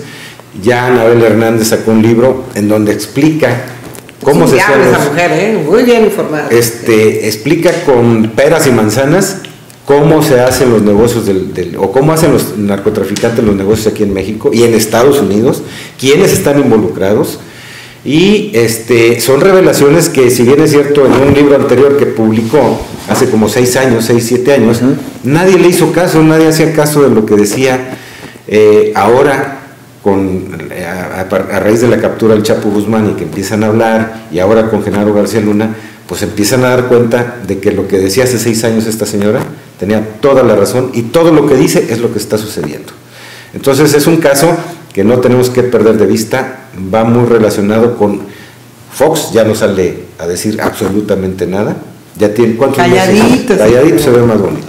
Calderón ahí entre sus borracheras, pues tuitea dos, tres cositas y, y, nada más, porque están calladitos porque yo creo que tarde que temprano por ahí algo, algo les va a tocar de la justicia que bien merecido se lo tiene.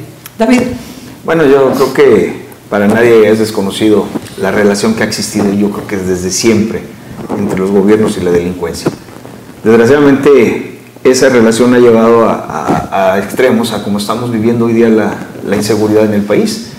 ¿Por qué? Porque nada, nada se da solo, o sea, nadie eh, va y, y se proba la gasolina solo, nadie va y vende droga solo, nadie hace, tiene antros abiertos solo, o sea, siempre hay una colusión entre autoridad y, delincuencia, por eso ha crecido. Esto, esto crece trascendentalmente después de, pues yo creo que esto viene desde la Segunda Guerra Mundial, según empieza toda esa, situación del narco, pero yo creo que tiene más fuerza a partir de los 70 acuérdense del negro durazo, de toda la gente que empezó a involucrarse y cómo empezaron a crecer los cárteles. Hay unas series que, que pasan por ahí en televisión, que son unas series medias biográficas, de cómo fue desarrollándose tanto en, en Sudamérica, con, con, este señor, ¿cómo se llamaba?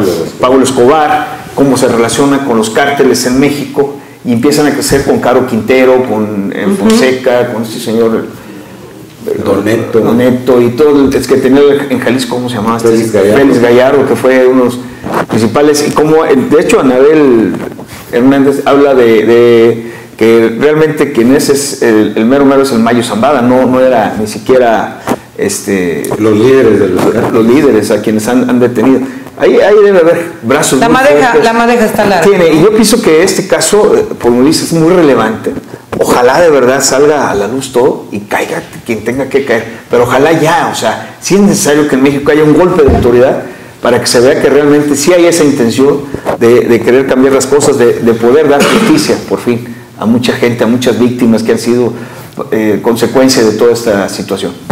Eh, eh, está interesante porque, digo, sabemos, todos sabemos que, el gobierno siempre ha pactado con el narco en diferentes niveles de autoridad. Dudo que los presidentes directamente lo hayan hecho, pero siempre de puestos de primer nivel para abajo se ha, se ha sabido que pactan con el narco y con diferentes delincuentes desde... No es sorpresa. No, recordemos desde el negro durazo que fue el primero que se descubrió el, nivel de corrupción y de, y de, poder que tenía el director de la policía en ese tiempo del Distrito Federal para saber cómo se manejaba a nivel nacional. Aquí la ventaja que difícilmente pensábamos que García Luna no se fuera a declarar inocente. Al momento de que él se declare inocente en Estados Unidos, entonces va a haber un juicio. Y en el juicio es donde se pueden exponer y se pueden abrir muchas cosas, muchas interrogantes. No sé si le convenga tanto a Estados Unidos como a México, porque aquí la corrupción está entre los dos lados. Los países. Que se sepan tantas cosas. Y no creo, difícilmente, este, creo yo, que lo vayan a dejar eh, en un juicio lo más conveniente, lo más sano para él y para los gobiernos es que se declare culpable y que solamente el gobierno de Estados Unidos tenga la información, porque ahorita el, que tiene el bastón por el mano es eh, por la en la mano es Estados Unidos porque es el que lo puede interrogar y es el que se puede informar de todas las cuestiones. En el momento que se declara inocente, entonces queda abierto al público en general. Y, y si esto sí llega a suceder, entonces sí van a salir bailando muchas cabezas. Hay muchos que están temblando, te diré. Bueno, rápidamente, eh, Mario César Ramírez, saludos a, saludos, saludos a mi amigo de la infancia David Galván y a ti Alejandra querida, te veo desde la soleada Dallas, Texas. Saludos querido Mario César Ramírez. Un abrazo eh, Mario. Saludos y pásanos tantito calor que, que es un Déjenme dar una, una, noticia de último minuto. encuentran eh, a un muerto cerca de la colonia Gama en Ciudad Fernández, muy cerca de donde fallecieron estos jovencitos hoy por la mañana. Esta mañana a través de una denuncia anónima reportan el hallazgo de una persona sin vida a un costado del canal principal de la Media Luna, cerca del centro de salud de la colonia Gama en Ciudad Fernández. En estos momentos corporaciones de seguridad se encuentran en el lugar de los hechos de manera extraoficial. Se dice que se trata de una ejecución. El cuerpo encontrado es de un hombre. Hasta el momento se desconocen sus generales. Seguiremos informando. Lamentable noticia. wow, o sea, digo, eh, ¿qué, más, ¿qué más tenemos? Bueno, vámonos con la siguiente información eh, que tenemos para ustedes. Déjeme, déjeme, me voy hasta acá. Pues el robo tipo estafa maestra con la compra de programas y equipos de cómputos en todos los niveles de gobierno. Vaya tema, ¿no? Sí, em, acaban de descubrir ahora en, cuanto a em, eh, ver cada dependencia cómo se manejaba, y ver qué estaban comprando, qué servía y qué no servía, tanto de equipos eh, para eh, el trabajo de la propia oficina o de lo, de lo que estaba dando la gente, como de los sistemas de cómputo que, que compraban. ¿Se acuerdan de, se hablaba de, de los programas de seguridad de Pegasus y de todo eso? Estaban una millonada. ¿Qué tanto servían? ¿Qué tanto era negocio? ¿Dónde quedaron? ¿Dónde quedaron? Y resulta que del- desde el 2006 Felipe Calderón emite un decreto en donde eh, en todos los niveles de gobierno se pueden adquirir equipos de cómputo a diestra y siniestra sin ningún problema.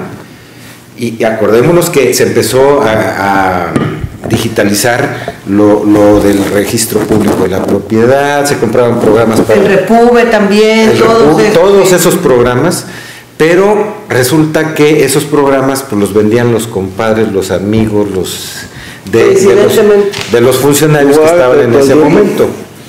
Y hay, hay un desfalco o un robo, pues, porque estaban a sobreprecio hasta de 40 mil millones de pesos. Lo han descubierto.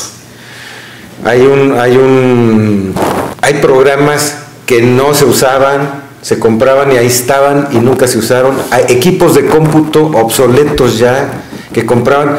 Yo me acuerdo que un diputado de aquí, este, bajaba programas y, y les decía que les iba a montar un ciber, ¿sí o no? Sí, no, pues sí, yo qué. Y resulta que y compraba. será muy difícil.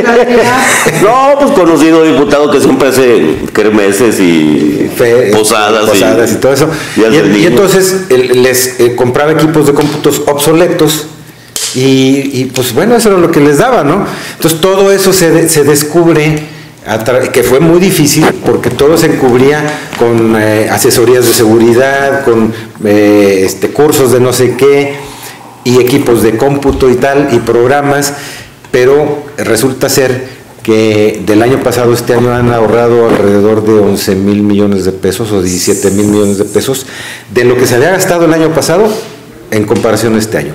Pero en general, eh, el desfalco que descubren y le llaman la, eh, la estafa magistral, no la, no la maestra, maestra. porque esta es un poco más difícil de entenderla y de, y de, y de probarla, de detectarla y de probarla.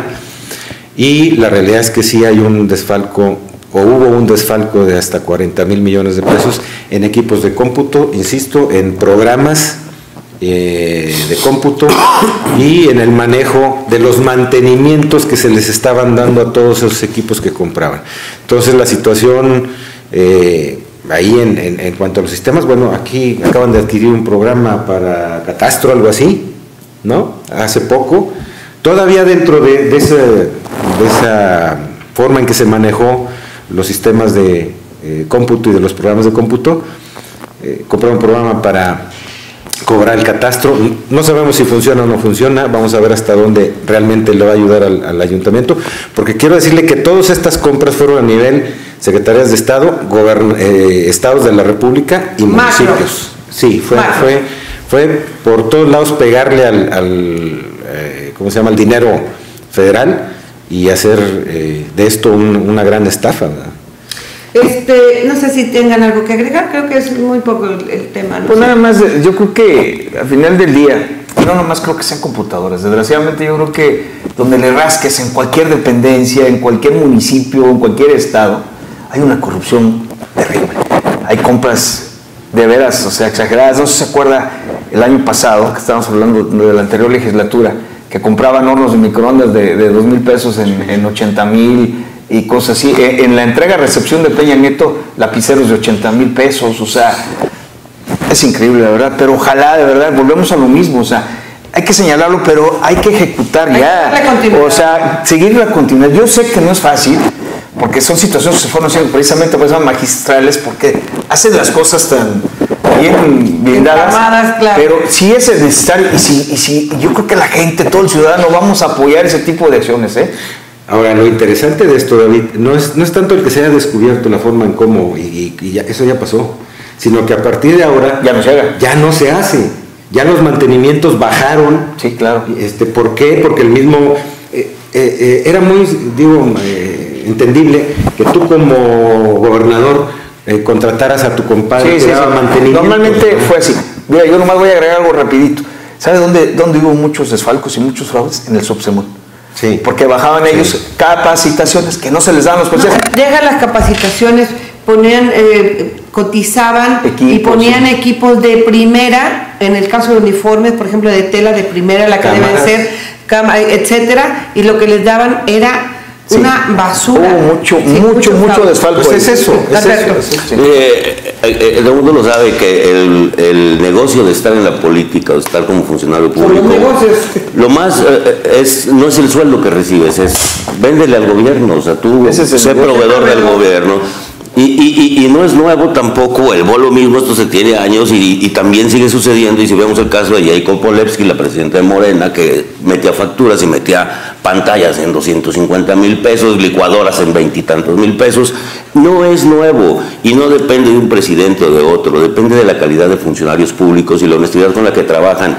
Esto, esto, esto realmente a mí no me sorprende de nada y no es una noticia que creo que creo que difícilmente va a cambiar porque no depende de una persona, depende de muchos funcionarios y hoy sigue existiendo en diferentes estados de la República con diferentes niveles y los mantenimientos sí son necesarios porque si hemos cuánto hemos criticado a la secretaria de salud del gobierno del estado por no haber ejecutado mantenimientos en, las- en los hospitales, en los equipos necesarios para la atención a los ciudadanos y por eso terminan obsoletos.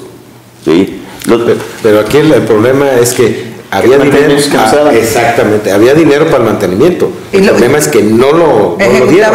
¿Y cuál es la otra? ¿Cuántas personas se murieron por cambiar de proveedor de diálisis porque Claro. era de su, era de su, de- de su amistad, de de, de cáncer. una amistad y ella dijo que era No. para reducir costos? No es cierto, al público lo engañan, al público le mienten mucho y eso es toda la vida ha seguido Pero existiendo. de- sea del color que sea. Sí. ¿Sabe qué? Voy a ir a mensajes. Regreso, tenemos mucho, mucho de qué hablar. La avioneta, los mm, desaseos que hay en estas situaciones, los héroes que se sin capa y que se hacen pasar por tales, etcétera, etcétera. Hay mucho, mucho que hablar a nivel estatal y algún otro tema nacional. Voy y ven, ¿les parece? Muy bien. No se vayan a pelear, por favor. Bueno, vámonos eh, con muchos temas que tenemos esta mañana y aunque el siguiente es eh, un tema de la que deberíamos de haber tratado hace una semana porque fue, fue el domingo pasado, no, sí, apenas está bien, ¿verdad? Tiempo. Fue el domingo pasado cuando llegaron al Zócalo de la Ciudad de México eh, personas, manifestantes que partieron de Cuernavaca, Morelos, para eh, con el señor Javier Sicilia, que recordemos que se volvió un símbolo de denuncia después de la muerte forzada, de la desaparición forzada y muerte de un hijo. Y bueno, ahora los que están de moda, porque donde quiera aparecen, eh, son los, los señores Levarón, estuvieron en Guanajuato, eh, o están el día de hoy en Guanajuato en otra marcha similar. Pero aquí, bueno, pues fue anunciada, etcétera, etcétera, aunque a los señores Sicilia, eh, digo, perdón, Levarón habían sido recibidos y atendidos por el presidente. Bueno, pues unos están a favor y otros en contra de que no los recibió, que se sintieron muy ofendidos, qué sé yo. Llegaron al Zócalo de la Ciudad de México y pareciera que de manera casual hubo otra marcha que llegaron casi al mismo tiempo a la plancha del Zócalo de la Ciudad de México y pues hubieron ahí algunos enfrentamientos verbales que nos pasó de una escupida y de una sacada de lengua, pero pues llama la atención. ¿Qué, qué? David, empieza contigo ahora, por favor. Pues bueno, yo creo que todos los movimientos ya tienen muchos años. Eh, para mí se me hacen con movimientos genuinos de, de gente que tiene un dolor tremendo por la desaparición y a muchos por las muertes de sus, de sus hijos, los que ya saben que están muertos, muchos no saben qué pasó con ellos. Los de Barón también tienen muchos años manifestándose, ¿eh? tienen años este, siendo Sí, hace como activistas. 11 años, ¿no? Sí, desde la época de Fox, ellos son activistas. Y bueno, en- en- en- siempre esas marchas por- siempre se legitimaron, se legitimaron con el actual presidente, toda esa gente siempre se les apoyó. De hoy que él es el presidente, pues no nos quiere atender muy bien que digamos, creo que eh, a veces eh, las formas, como él dice, yo sé que es muy difícil que se pueda atender a toda la gente todo el tiempo, pero hay formas para contestar, para decir un buen sí, un buen no. El hecho de que he dicho que no iba a ser parte de un show, yo creo que no, no es por ahí, eso, esas son cosas, como él mismo dijo, eso calienta. Eh, la verdad, creo que debió haber darles el- su, pues ahora sí, recibirlos, darles su lugar, darles su espacio. en su momento se los dio Felipe Calderón y a Calderón no le fue tan bien con ese cuando recibió a Sicilia en otra ocasión, lo recibió Enrique Peña Nieto. Yo pienso que pues era bueno darles el seguimiento. Eh, Sicilia tuvo, antes de la elección, estuvo apoyando a, López Obrador, de hecho estuvieron juntos en muchos eventos. López Obrador le prometió a Sicilia que iban a hacer un proyecto para en la cuestión de la inseguridad, hablaban de ciertas cosas. Al final del día, ya cuando entra López Obrador, pues ya no le da su espacio a Sicilia, lo manda, por ahí una, hay una diferencia, ¿no? Pero yo creo que esos movimientos son legítimos, yo creo que se les tiene que atender, yo creo que sí se tiene que dar un seguimiento a muchas cosas que quedaron, que esos movimientos están planteando, el cómo poder de, bajar un poco los niveles de, inseguridad y, y, tomar lo bueno, ¿no? Pero darles esa atención. Bueno, ah, gracias por sintonizarnos a través de Telesistemas Potosino y a la gente que lo hace vía Facebook Live también.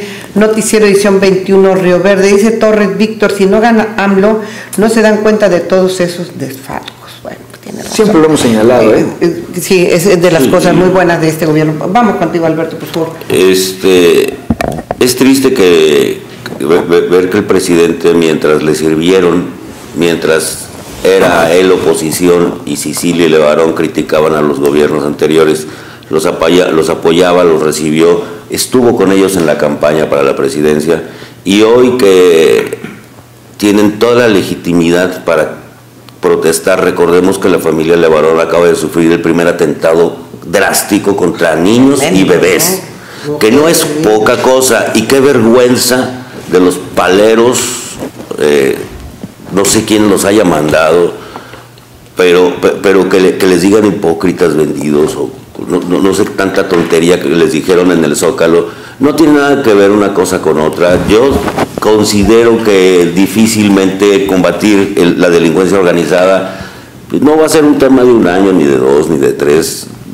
Eh, debe llevar mucho más tiempo, pero de legitimar a estas personas que sí tienen dolores reales, que han perdido familiares y que tienen años, años haciendo lo mismo y pidiendo resultados y pidiendo estrategias y pidiendo cambios y no han sido participantes de ningún gobierno, al contrario han criticado a los tres, ahora sí a los tres gobiernos en turno, el PAN, el PRI y ahora le toca a Morena.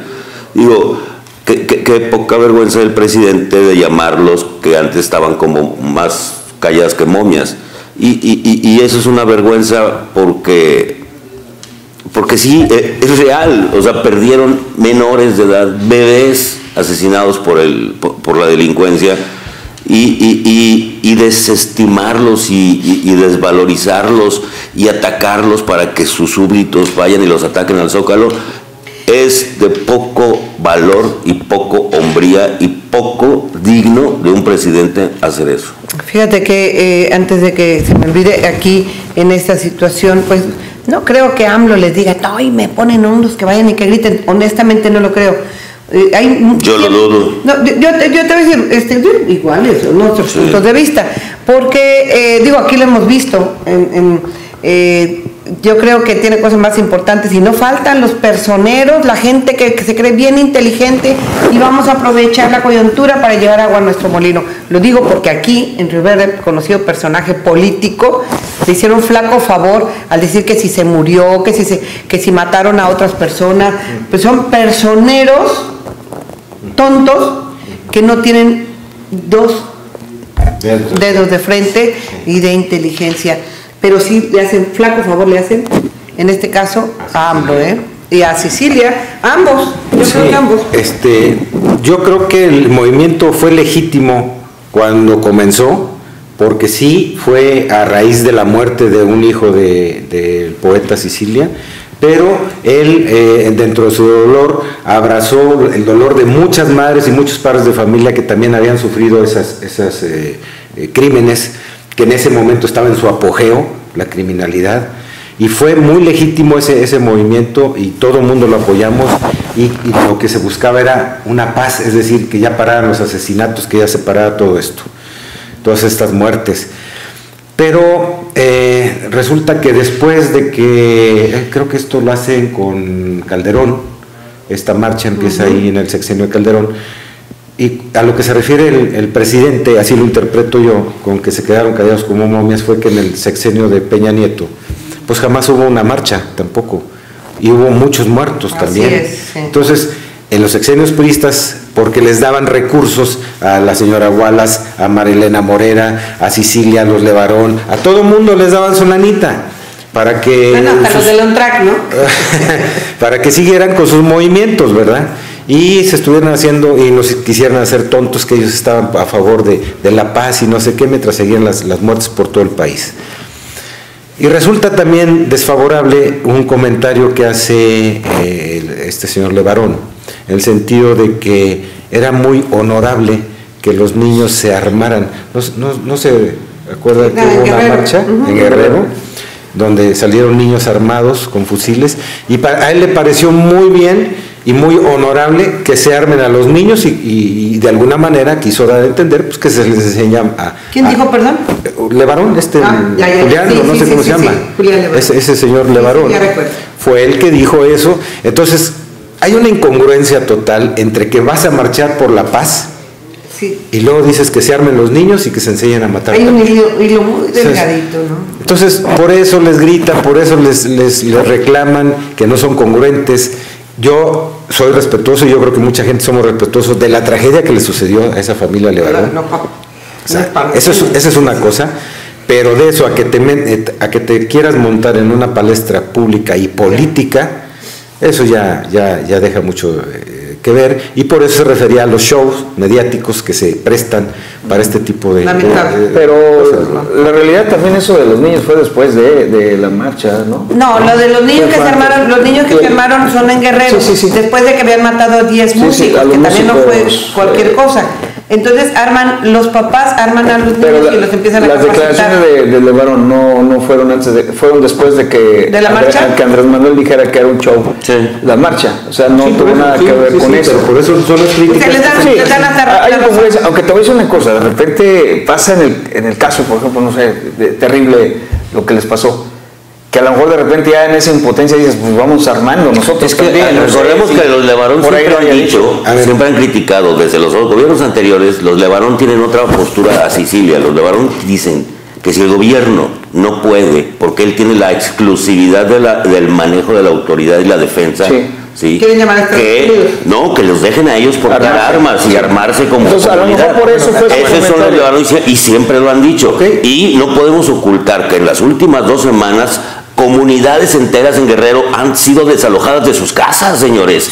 Esto donde se armaron los 12 niños es porque el gobierno, ninguna autoridad les da protección, ayuda y la delincuencia los ha amenazado y pasan 12 horas, 24 horas de tiroteos en las comunidades y nadie los pela. Y comunidades enteras, haz de cuenta que una comunidad como, no sé, cualquier comunidad de aquí de Rivera de la Sierra, tiene que abandonar toda la comunidad e irse a otra cercana, porque ya los narcos y lo- la delincuencia organizada está tomando toda la población. Entonces, Estamos ver, en una situación ver, ver, en crisis, Pero- realmente es pero, crisis. Pero esto, esta crisis- Esto es nuevo, esto no había No, pasado. no, no, no, discúlpame, pero a lo mejor tú no te enteras. A lo mejor no estás informado. Pero en Guerrero ha pasado eso y más cosas, muchas más cosas. Tan es así que desaparecieron a cua- 43 estudiantes y hasta la fecha no saben quién, quién los desapareció.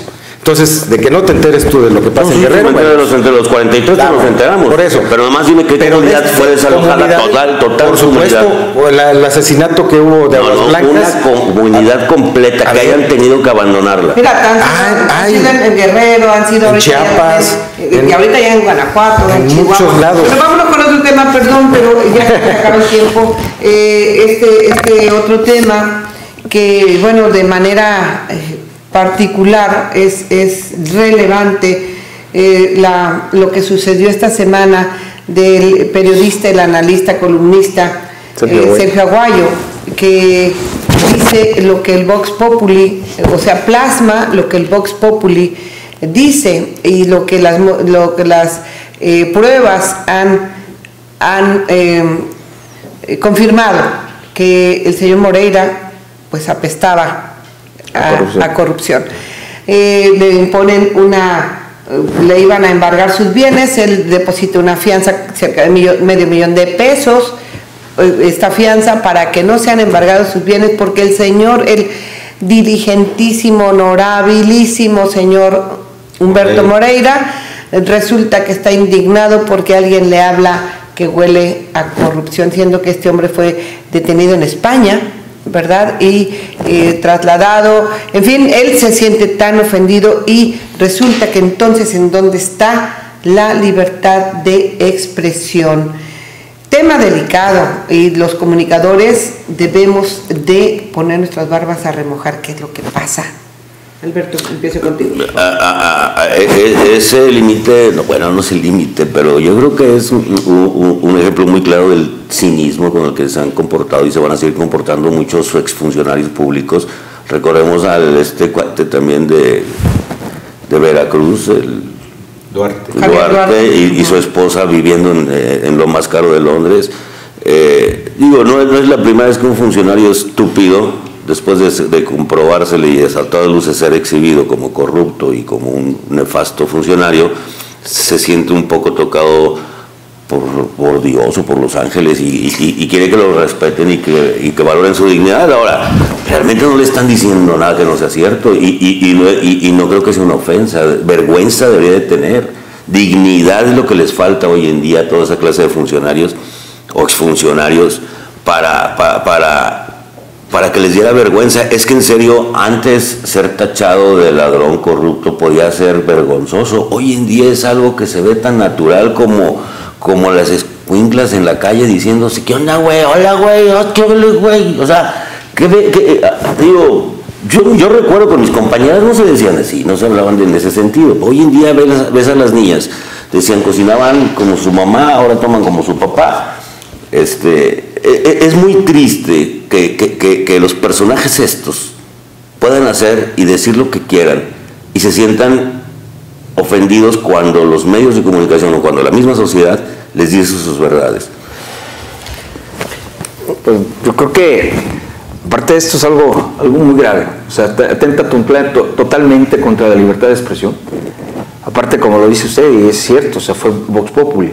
Yo creo que Humberto Moreira representa de lo más nefasto, de lo política, clase política y del PRI de los últimos años. Cuando fue gobernador, acuérdense, el endeudamiento de Coahuila exagerado. Hay una obra que está en la carretera eh, por Carboneras, ahí está donde están las casetas de cobro cuando vamos de San Luis a Monterrey.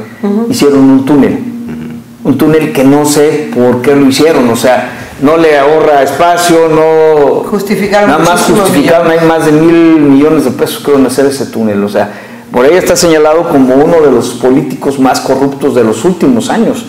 Eh, no solamente en, su tierra, que y fíjense lo que hicieron ellos.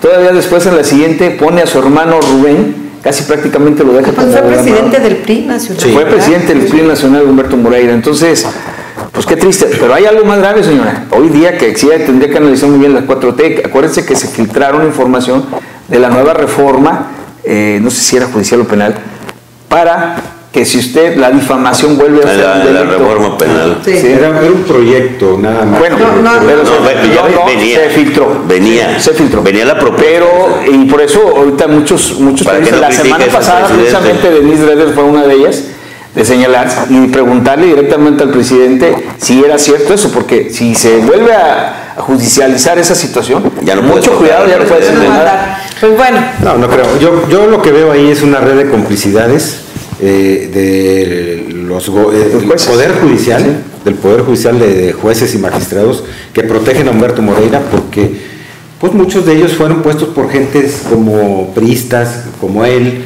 este, o panistas de, la misma calaña, que se dedicaban a saquear en sus estados y eh, después recibieron la protección del Poder Judicial.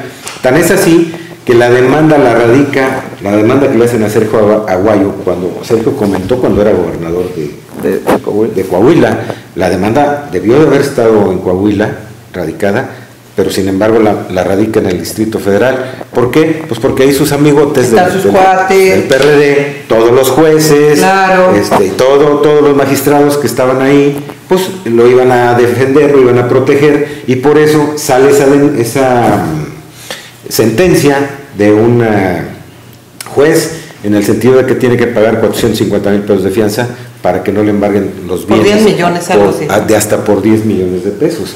Y va en el sentido también, no es tanto de que, de que mm, eh, eh, ¿cómo se llama? Eh, frenen la libre expresión de, de las gentes, yo no lo veo por ahí Yo más bien veo que se está ¿Tráfico de destapando un tráfico muy grande de influencia en el Distrito Federal, pero obviamente le dicen, es que ahorita está Claudia Sheinbaum, sí, pero los jueces y magistrados no los No, no, puso ella, claro. o sea, vienen ya heredados. Entonces hay una red de corrupción que probablemente, eh, así como protegen a Moreira, pueden proteger a, A quien sea. a cualquier político corrupto Sí. que, que- que- que pueda ser señalado y que con esas complicidades pues frieguen al periodista. No es tanto que haya censura por parte del gobierno federal, sino de esas eh, eh, redes de complicidad que, que se crearon. desde telarañas hace- que se tejen para favorecer a, Sí. a unos cuantos que tiene todavía eh, cotos de poder. Bueno, Salvador Al- Alvarado, gracias por estarnos viendo a través de Facebook Live, Noticiero Edición 21 Río Verde, dice Salvador Alvarado, felicidades por su noticiero muy versátil y también gracias por sus mensajes y WhatsApp a través de 487-121-0583. Señora, buenos días, gusto en verla de nuevo, perdón, pero relacionado con el accidente de hoy, las autoridades deberían de clausurar todos esos antros de mala muerte para evitar estos accidentes. Gracias, que tenga bonito día y bienvenida. Muchísimas gracias. Y sí, creo que eh, habrá mucha tela de donde cortar y vamos a estar pendientes. Bueno, ya casi se nos acaba el tiempo, pero no podemos de- dejar de... No sé si puedan quieran agregar algo más, ya lo hicimos al principio No. del, del accidente. Bueno, vámonos con este accidente que el miércoles a mediodía fuimos enterados de que eh, había un accidente ah, en la Sierra Rioverdense, esto en el lugar denominado como la Alameda, hacia el sur de la cabecera municipal de este municipio. Y en ese día, usted recordará que en este mm, Frente Frío número 36, pues fue cuando entró con mucha neblina. Y dicen los, eh, la gente de la sierra, quienes vinieron a dar la, pues el tema de alarma, pues mandaron algunas fotos, dicen que se escuchó la avioneta muy bajo, que el ruido de una avioneta que iba muy bajito y después se escucha un fuerte golpe y después nada. Corren y ven y toman fotos eh, mismas que son enviadas acá a algún personaje y antes de que lleguen, antes de que hagan eh, pues las actividades de, de rescate, inclusive pues de aseguramiento, pues hicieron correr una bola de rumores que nada nos ayudan. Fui- salimos a nivel nacional, que aquí en Río Verde, drogas, armas, eh, dólares, etcétera, etcétera. Y déjeme decirle pues que eh, esto no fue corroborado, eh, se filtraron informaciones sin debidas cadenas de custodia para, para dichas eh, situación que era muy de, muy delicada, que finalmente se tomó por mano de la Fiscalía General de la República, tratándose de un tema federal en cuanto al eh, avión eh, y tratándose en un tema eh, de justicia estatal, local, eh, por los cuerpos, por las personas que fallecieron. Siendo estos, bueno, pues concretamente de lo que hemos rescatado, porque no ha habido a la fecha, no ha habido un eh, comunicado oficial que nos dé a conocer los pormenores. Pero de lo que se ha filtrado, le puedo comentar a usted que fue efectivamente una avioneta pequeña que llevaba al interior eh, bidones con gasavión, llevaba eh, eh, una carga, era lo que llevaba, no así dólares, drogas, eh, van dos masculinos ah, hacia el interior de mediana edad, 40, 40 y tantos años, y pues eh, quedaron esparcidos, así como la avioneta, en, pues por el fuerte impacto, que si unos 40 o 50 metros, según dicen los que saben, hubieran ido arriba, pues no le pegan al cerro, dado que la, no, la visibilidad, efectivamente, la matrícula iba cubierta con cinta canela, fíjese usted nada más, y el, el aire no se lo despegó, así como los... em, las luces que relampaguean, de- las lu- luces de seguridad que llevan, pues también iban ocultas.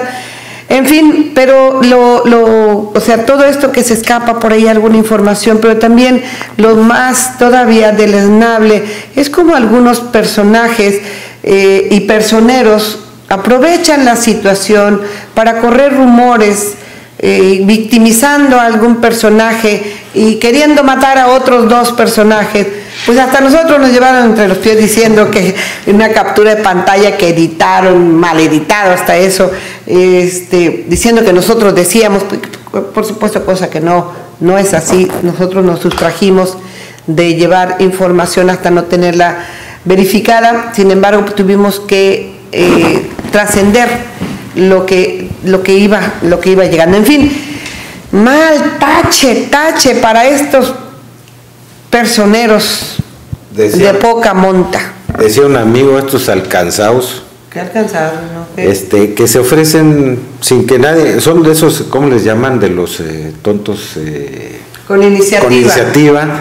Yo les digo de otra forma más feo. Tontejos. Tontejos con iniciativa que creen que este, pueden ayudar a su amigo, que puede ser el, próximo candidato, próximo candidato el, que va a estar en la palestra política, y entonces dice que pues este probablemente se haya accidentado en esa avioneta y tal y tal, y entonces empieza a correr el rumor para que salga el nombre de esta persona y tal y tal. Y así como él, pues sacaron los otros dos personajes también ligados a la política, y que, que este canal eh, había mencionado eso y que tal y tal y tal. Entonces, digo, son, son estas gentes que lejos de ayudar, eh, pues eh, creen que o quieren quedar bien con algunas personas, pero pues quedan de la patada porque al final de cuentas pues se da, se da uno cuenta de cómo... ¿Qué ganan? Dígame qué ganan. Pues nada, no gana nada, eh, pero, pero, ellos... no, es que recuerden que en el medio del espectáculo dicen, lo importante no es que hablen bien o mal de ti, el chiste es que hablen de ti. Y cuando dejas de ser noticia tienes que buscar, aunque sea un escándalo, pero volver a estar en voz o en... Pero eso es en, los... Eh, en el espectáculo lo dicen, en la política me imagino que también. bueno, cuando no consideras a la política como una cosa seria. Sino como un show. Como un show, sí, ahí sí. Eso, bueno, eso depende de cada quien pero pero si no está haciendo nota no estás no hay nada que hable de ti no no, no los reflectores no los tienes pues búscalos. No, y la realidad sí lo hacen. Acuérdate que, que, luego de repente ha habido tragedias ha habido circunstancias. Esta es una tragedia también lo del avión. este lucran. Hay mucha gente que aprovecha eso para lucrar. Eh, cuando van y alguien les pasó una tragedia y van están tomando fotos una inundación mil cosas. Precisamente en el medio político hay mucha podredumbre. Entonces van a aprovechar cualquier circunstancia para salir. Digo, no lo hace obviamente las personas aludidas. Es gente que quiere hacerles, como tú dices, un favor y pues lejos de hacer. Jefecito, jefecito, mira lo que dice. Sí, sí, sí. Y, pero gracias a Dios no les pasó nada, también.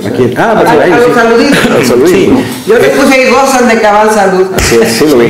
lo que sí es cierto es que, bueno, esa avioneta, incluso a nivel nacional se mencionó que probablemente tres reos que se habían fugado de una casa y tal y tal, que a lo mejor venían ahí. Lo que sí es cierto es que, bueno, esa avioneta venía eh, algo, algo ilegal estaba haciendo. Yo no sé si transportar ese gasavión en las mismas avionetas esté prohibido. Pues debe ser, debe ser.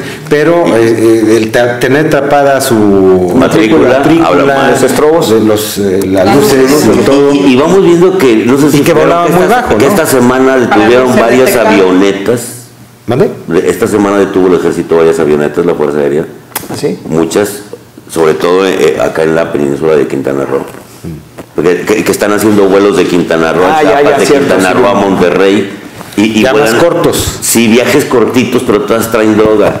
Y, y, traen las matrículas así tapaditas. Y, pero pues todo, todo, todo está volando en el territorio nacional. Algo llega a la península y de ahí lo mueven y lo desplazan. Y todos son avionetas. Está, está interesante. rutas. Pues ya nos vamos. Muchísimas gracias. Para concluir, si son tan amables, de inicio contigo, Alberto, por favor. No, pues feliz año a todos los auditores. Yo no los había visto desde el año pasado. y un abrazo a la familia Román del Pozo. Hoy falleció en la mañana a don Pepe Román. Ah, caray, no digas. Sí. a las 7 y cacho de la mañana falleció el día de hoy. Una persona muy apreciada en esta, en esta región. Un abrazo para toda la familia. Pues sí, un abrazo, un abrazo para la familia Román del Pozo. Este, esperemos que encuentren consuelo pronto, todos los familiares. Y también un abrazo a estas familias de las eh, señoritas que fallecieron el día de hoy. También eh, un abrazo con mucho cariño y ojalá y pronto también encuentren una algo que los reconforte, que los logre reconfortar porque es un duro golpe, de veras, perder un hijo, perder un padre, perder a alguien, siempre es doloroso, entonces eh, pues va nuestro cariño y nuestro abrazo para todas estas personas. Pues de igual manera, yo creo que abrazamos fuertemente a la familia de estos muchachos accidentados, las muchachas, el muchacho. Un abrazo muy fuerte y fraternal para la familia Román, que todos son nuestros amigos. Y pues bueno, hagamos conciencia. Yo creo que todo ese tipo de cosas tienen que servir para algo, no nada más que quede ahí. O sea, ahora sí se debe de actuar muchas cosas, tenemos que hacer como padres, como, como autoridades, todo el mundo tenemos que hacer algo para que esto ya no siga pasando. Y bueno, saludamos a, a las personas que siempre saludamos, a Mario César, muchísimas gracias por estarnos viendo, Mario, un abrazo muy grande, a Angelique y a Paula Mariel, que siempre... Oiga, tenemos restaurante nuevo, ¿no? Ah, ok, eh, mi yerno acaba de abrir un restaurante. Tenemos, Aquí en la, en la calle Guerrero. Hay que recomendarlo. Se llama ¿no? La Casona. Y pues bueno, es un. ¿En la calle Guerrero? En la ¿A calle qué Guerrero, altura? frente a la gasolinería de, que está ahí en Guerrero y. Ya, ¿dónde está un hotel? Sí, al lado del hotel. Al lado del hotel. hotel. Ahí está este lugar que se llama La Casona. La- la ¿Qué es la especialidad? Eh, bueno, son, des- son desayunos gourmet y es carnes a mediodía. Verduras. Verduras, ajá. Verduritas. Oiga, pues felicidades, por ahí gracias, estaremos pronto. Axel. Bueno, pues ya nos vamos. Antes le digo a usted, hoy es el 02 del 02 del 2020. Es una fecha con una vibración energética alta, capicúa o palíndromo. Se lee igual al derecho que al revés. Así empezó el día. Cinco jóvenes pierden la vida en el canal de la Media Luna, uno ejecutado a orillas del mismo canal, siete perritos envenenados en el eh, barrio de Los Ángeles. ¿Qué más falta? Cuídese. Feliz domingo. Gracias por habernos acompañado a nombre de quienes conformamos Grupo Informativo 21. Yo soy Alejandra Sánchez, quien como siempre le dice gracias, muchas, muchas gracias por abrirme las puertas de su casa, que ya lo sabe, las de mi corazón están abiertas para usted. Sea feliz, que Dios me lo bendiga, feliz domingo y que viva, que viva la familia. Hasta pronto, si Dios quiere, y usted también.